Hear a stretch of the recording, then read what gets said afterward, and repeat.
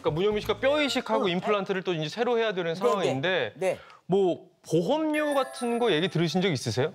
그때 닥치면 그때 가서 돈 주고 하면 되지. 이렇게만 생각했지 무슨 보험을 들어야지 뭐 이런 이런 그 생각이 없이 살았단 말이에요. 네. 이미 다 내 돈 생돈 주고 다 했는데 그걸 왜 들어야 돼?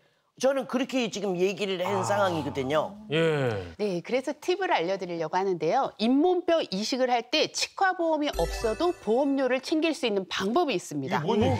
그러니까 이제 내가 보험을 들고도 잘 모르는 경우가 굉장히 많은데요. 이게 이제 2006년 그 전후나 그 이전에 들은 종신보험이나 생명보험 들으신 분들 중에서요. 있죠? 있어요. 네, 수술 특약에 그골 이식 특약이 있을 수가 있어요.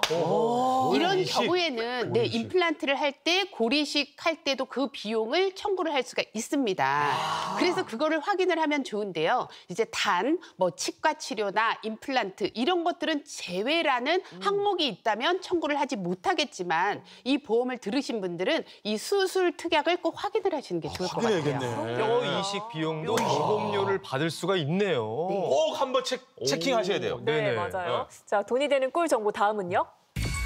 제품명을 확인하라고요.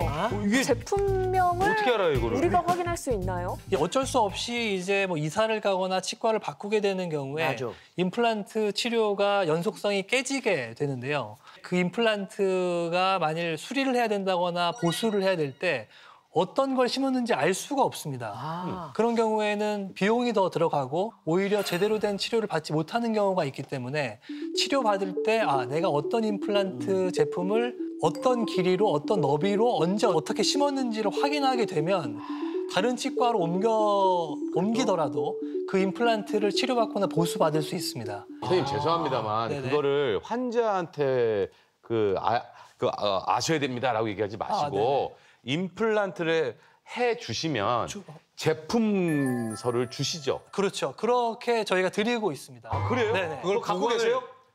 안 주던데? 어, 저는 받았어요. 다르네요. 저는 저, 이거 이거 뭐야 이만한 게 종이로 아, 해주던 네네, 예, 맞습니다. 그거 받았습니다. 아니 이거는 스웨덴 거고 이거는 뭐 일본 거고 이거는 뭐 독일 거고 그러고 저는 심어주기만 했지. 뭐 이렇게 증서를 안. 안 주셨어요? 네. 혹시 선생님 나 이거 뭐를 심었어요?